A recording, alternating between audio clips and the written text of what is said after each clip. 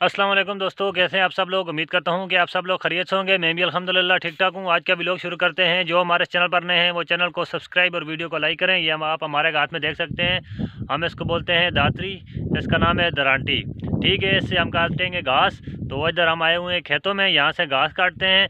तो यहीं से भी लोग शुरू करते हैं। तो आप जल्दी से चैनल को सब्सक्राइब और वीडियो को लाइक कर दें। तो आपको बताते हैं कौन सा घास काटना है। ये साथ हमारी जो है गंदम की फ़सल है। गंदम की फ़सल के बीच में से एक बूटी निकालेंगे। वो भी आपको दिखाएँ। जंगल में एक जानवर है जो जंगली जानवर होते हैं, उसको हम बोलते हैं पेड़े। तो उर्दू में मेरे ख्याल में उसको सूर बोलते हैं। तो भी हम वहाँ जा रहे हैं। तो आपको भी वीडियो में भी दिखाएँगे। अगर भाग नहीं गए तो वीडियो ज़रूर बनाऊँगा उनकी भी। तो अभी जा रहे हैं वहाँ। तो वहाँ जाकर आपको मिलेंगे। कि वो भाग ना जाए तो इसलिए हम जा रहे हैं वहाँ पर तो उधर जाकर आपको तो वीवर देख सकते हैं वो जा रहे हैं वो सामने आप देख सकते हैं जो हमने मार्कर लगाई है। इधर से जा रहे हैं हम लेट हो गए इसलिए वो भाग गए हैं। अभी जूम करके आपको दिखाते हैं अगर है तो अब जूम करते हैं आपको दिखाएँगे कि ये आप देख सकते हैं ये देख सकते हैं वो भाग रहे हैं ये पीछे दूसरा भी है ये पाँच सात थे। तो वीवर हम भाग कर गए लेकिन सूर जो थे वो हमसे भी तेज़ थे वो भाग गए। तो तकरीबन सात सूर थे, लेकिन बहुत बड़े थे। ये इंसान को भी नुकसान दे सकते हैं। अगर ज़ख्मी हो तो ये इंसान को भी नुकसान देते हैं। इस जंगल में बहुत से जानवर होते हैं। सूर हो गया, उसके बाद गीदड़ लूमड़ी और खरगोश भी बहुत हैं। काला तीतर, उसके बाद वतनी तीतर। हर कस्म के जानवर यहाँ पर पाए जाते हैं। ये बहुत बड़ा जंगल है इसमें, इस एरिए में। यहाँ पर जो, ये बहुत बड़ा जंगल है। गंदम के बीच में से ये बूटी निकाल रहे हैं। ये आप देख सकते हैं, ये गायें बहुत ज़बरदस्त खाती हैं, मज़े से खाती हैं। ये घास तो ये साथ हमने पल्ला बाँध लिया है ये देख सकते हैं। इसमें हम डाल रहे हैं साथ साथ काट कर। तो ये काटते हैं और बाद में मिलते हैं, क्योंकि साथ साथ वीडियो नहीं बना सकता, इसलिए ये घास काट कर फिर बाद में आपको मिलते हैं। फाइनली व्यूवर्स हमने घास काट लिया इस पल्ले में डालेंगे अब। तो हमारा जो मोटरसाइकिल है, वो ऊपर खड़ा हुआ है। इधर आप देख सकते हैं, ये मोटरसाइकिल खड़ा हुआ है। इस पल्ले को यहाँ से उठाएँगे और वो ऊपर लेकर जाएँगे, जहाँ पर हमारा मोटरसाइकिल खड़ा हुआ है।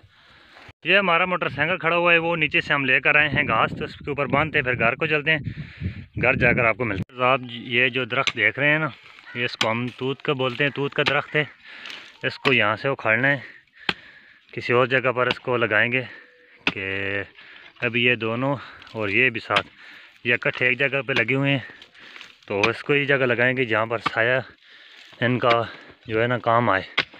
तो भी यहाँ से उखाड़ते हैं। तो इस तरफ़ से हमने खड्डा लगाना शुरू किया है। ये वाला दरख्त उखाड़ना है। ये पानी की जगह है ना, इसलिए बहुत इजीली इसकी खुदाई हो रही है।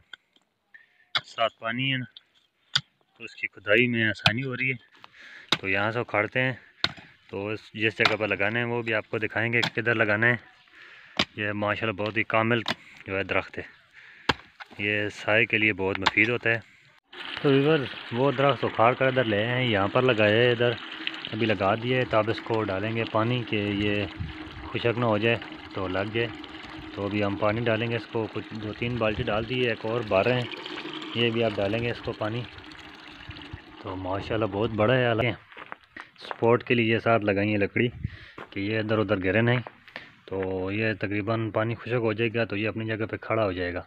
तो ये इधर इधर गिरेगा नहीं। तो इसलिए लगाया है कि यहाँ पर जो जानवर है ना, उनके साय के लिए लगाया है कि इधर कोई कामिल दरख्त नहीं था बड़ा। इनको साय के लिए, जानवर के लिए तो ये अब इंशाल्लाह लग जाएगा तो साया, जानवरों के लिए साया बन जाएगा यहाँ पर। काम शाम सब ख़त्म करके अब जा रहे हैं नमाज़ पढ़ने के लिए, आज जुम्मे का दिन है। तो अभी जा रहे हैं नमाज़ को तो यही था हमारा आज का वीडियो। उम्मीद करता हूँ कि आपको अच्छा लगा होगा। अच्छा लगा है तो वीडियो को लाइक और चैनल को सब्सक्राइब कर दें। मिलते हैं कल नेक्स्ट व्लॉग में तब तक के लिए अल्लाह हाफिज़।